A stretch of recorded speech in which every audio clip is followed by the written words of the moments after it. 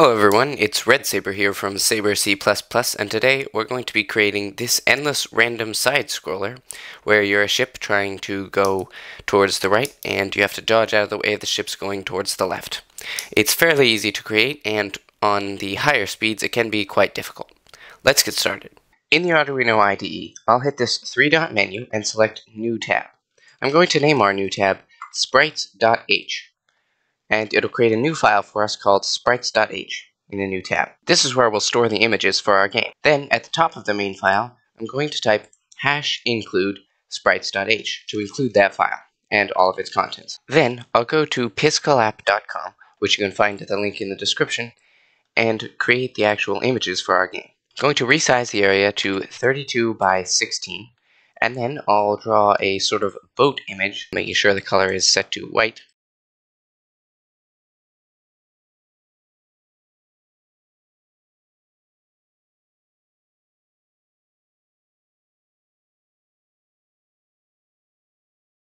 I'm going to leave some space at the back here so that we can draw what looks like a wake, which will change over a few different frames so that it'll look like our boat is moving. So these little stair steps here that I'm creating will be the wake, and I'll change them on each frame. First, though, I'm going to add some more detail to the actual boat. Then I'll duplicate this several times, and each time I'm going to adjust what the wakes uh, look like. So we want the water to be moving away from the boat and out towards the end of the image over here. So each frame I'll get a little bit closer to that. Now I'll sort of break the wave off from the ship.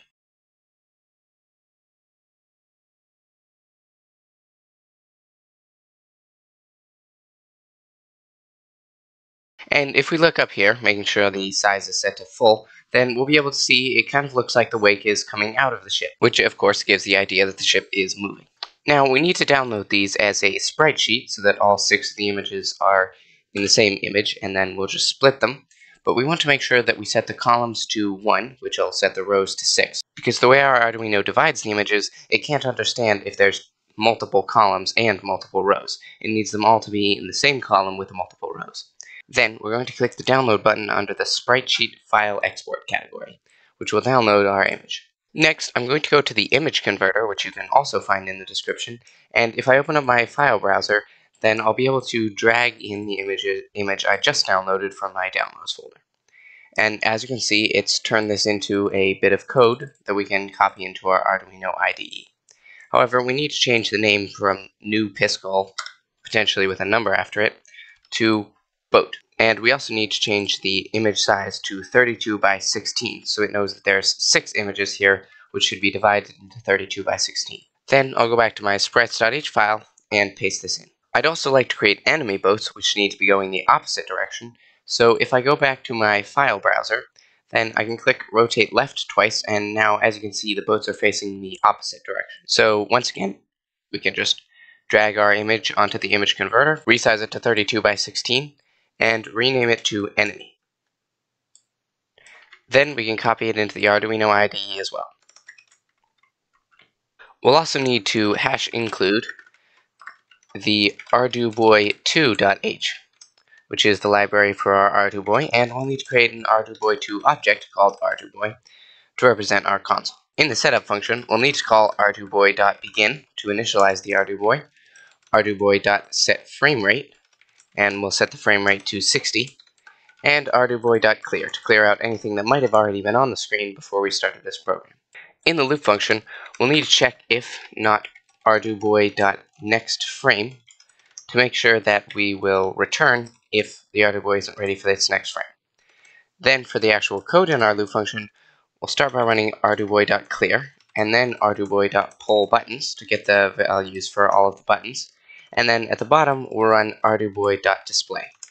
In between these lines is where we'll run the actual code for our game, which will give us something to display based on the button input. The player is going to be able to switch between three lanes, top, middle, and bottom, so we'll want a variable which will be an integer, I'll call it boat row, and this will allow the player to be in lane 0, the top lane, lane 1, the middle lane, or lane 2, the bottom lane. Then we'll want an int called boat frame, and this will hold which frame the boat is on. So we'll be able to iterate over the six frames and show the boat on whichever frame is currently in this variable.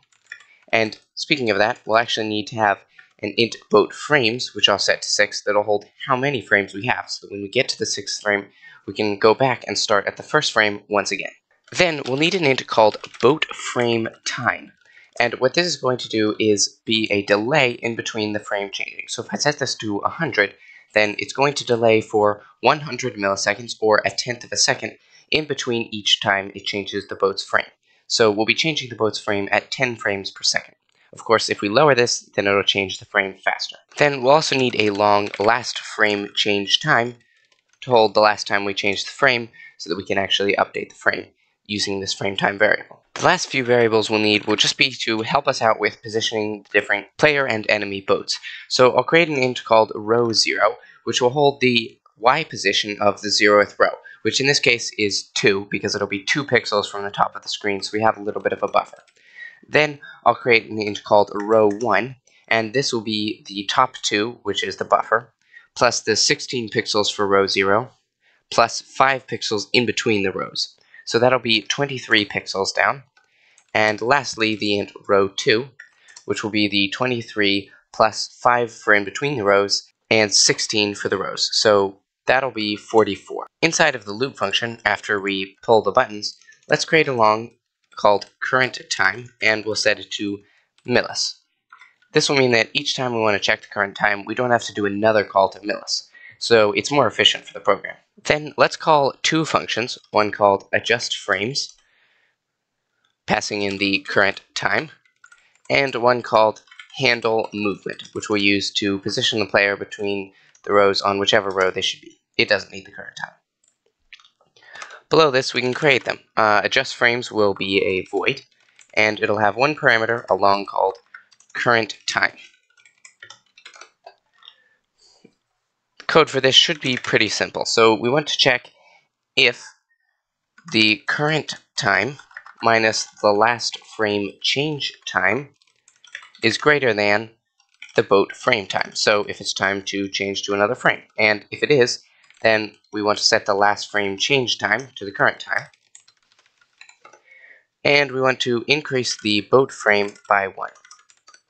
Of course, if the boat frame is greater than or equal to boat frames, so if we've maxed out the boat frame, then we want to set the boat frame back down to 0. Then we're going to create the void handle movement function, which doesn't have any parameters. And inside of it, the first thing we want to do is create a switch statement. And this will switch on the integer boat row. So we'll have different cases depending on which row we're in. So case 0 will be the case that we're in the top row. And we'll want to actually draw the player's boat. So we'll run sprites colon colon draw overwrite to draw this over anything that might be in the background. And we'll draw it at 4 pixels from the left side of the screen row 0, we created this helper variable for that on the y-axis, we'll be drawing the boat and we'll be drawing it at the boat frame, which we've already updated. Then we also want to check if the down button is pressed, and if it is, we'll want to move down a row. So if arduboy.justPressed, so we don't trigger this multiple times for one button press, down button Then we'll simply set the boat row to 1. And then we'll break. I'll simply copy all of this and create a case 1, which will be the case for the middle row. Of course, we'll need to use the row 1 variable to get the y height. And if the down button is pressed, then we'll want to change the boat row to 2, because that's the bottom row. Then I'm going to change this to an else if statement, so that we can create an if statement above and check if arduboy.justPressed up button. So if the up button was just pressed, then we want to set the boat row back to 0. So this will allow them to move down from the top row and up or down from the middle row. Then I'll paste in this one final time, and we'll do a case 2, which will have row 2 for the Y position, and we'll want to check if the up button is pressed, and if it is, we will be moving them up to row 1. Now that we've added our player boat, let's try it out. As you can see, we can switch our player boat between the three lanes, and it has the wake animation that we created on the back there. Let's add an enemy for the player to avoid. At the top, let's start by creating an int enemy x, which we'll set to 128, which is the right side of the screen, because the enemies will start at the right and move to the left, and an enemy row, and we'll set this to 0. So the enemy will have an x value, which will decrease to move them towards the left, and a row value, which will change each time we spawn a new enemy. Then we'll have an int enemy move delay, and we'll set this to 10. So we'll actually decrease this to make the play the enemies move faster and faster to make it more difficult, and an enemy movement that we'll set to 1. And, and this is a similar thing. We'll increase it to make the enemy move faster as time goes on. We'll also need a long last enemy move time so that we can use the enemy move delay. In the loop function, let's call a new function called handle enemy, and we'll need to pass the current time into this as well. Once again, I'll create this as a void function at the bottom of the program with a long called current time. And we'll want to start by checking if the boat has hit the player. So um, obviously, we need to check if the boat row is equal to the enemy row, so if they're on the same row, and if the enemy x is less than or equal to 4 pixels, because that's where the player starts, plus 32 pixels, so 36 pixels, then they've gone past the front of the player's boat, and if the enemy x is greater than or equal to minus 32. So once the enemy goes fully off the screen, then we'll teleport them back to the right side of the screen so they can come in again, potentially on a different row. In a moment, we'll add some logic for ending the game right here, but for now, we won't do anything. So otherwise, if there hasn't been a collision, then we'll want to check if the current time minus the last enemy move time is greater than enemy move delay. And if it is, then we'll want to set the last enemy move time to the current time. And we'll want to decrease the enemy x by whatever our enemy movement currently is. Then we need to draw the enemy, so we'll use the same a similar switch statement using the enemy row variable. And in case 0, we'll use the sprites colon colon draw overwrite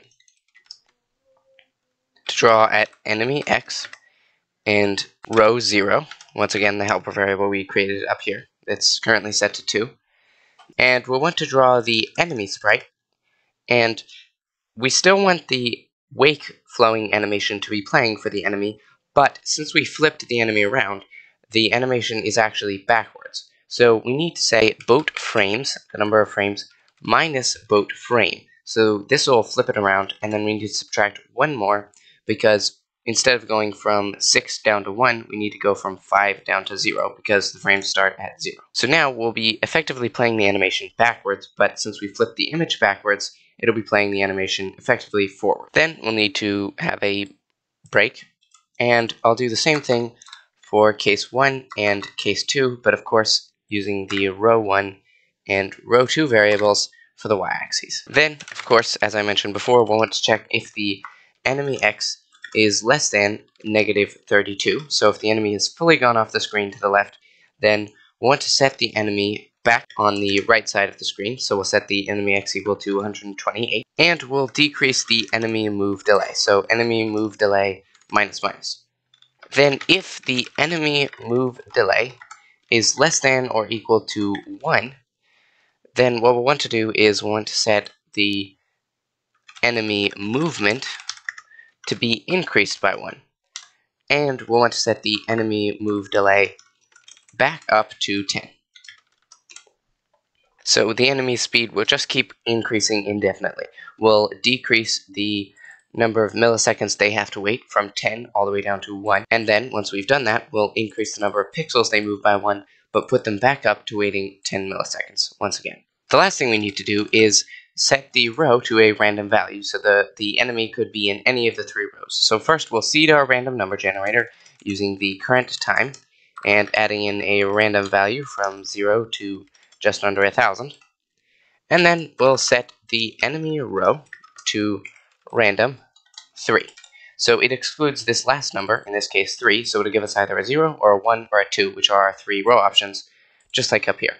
Except that these cases should actually be set to 1 and 2, so that we have a case 0, a case 1, and a case 2. Alright, let's try it out. And now we have enemies moving across the screen, and if we run into one of them, then it'll stop the game. However, we haven't yet set up an endgame or scoring so the player doesn't know how well they did and they can just move out of the way to continue the game. Let's fix that next.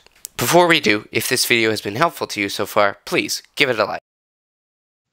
At the end of our variables, let's create a bool, game over, and an int score. In the setup function, let's call a start game function, which I'll go ahead and create right below that. This will be a void, and of course we don't have any parameters for it. The first thing we'll do is we'll set game over to false, and we'll set the score to 0. We'll set the boat row to 1. Set the enemy row to 1.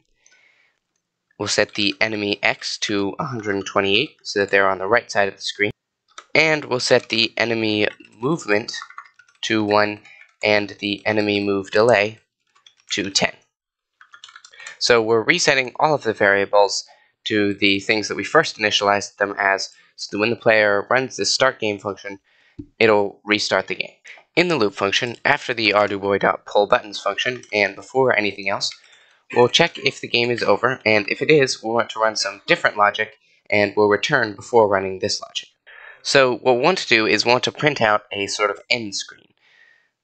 So the first thing we'll do is we'll run arduboy.set text size, and we'll set the text size to 2 so we can print out game over really big. So I'll create a string called overText, and I'll set it to game over. You know what, let's do all caps, game over, with an exclamation point, so they know that the game is really, really over. Then we'll run arduboy.setCursor, and we want to center this. So the center of the screen is 128 pixels divided by 2. And we want to subtract half of the length of this message. So the length of this message, the reason we created a string variable there, is because we can run over text.length, which will give us the number of characters, and then we just need to multiply that by the width of each character, which is 12 pixels, because we're on size 2, and divide that by 2. So half of the characters will be before the center, and half will be after. Then on the y-axis, we'll do 64 divided by 2 because the screen is 64 pixels tall, and we'll subtract 16 because the characters are 16 pixels tall. So the bottom of each character would be touching the imaginary center line of the screen on the y-axis. Then the last thing we can do is actually run the print function and print out our overtext. Then I'm going to copy this and do the same thing, except that we want to print out the player's score. So we'll print out a score with a colon and a space, and then we'll add to that the score, which we'll turn into a string using the string function.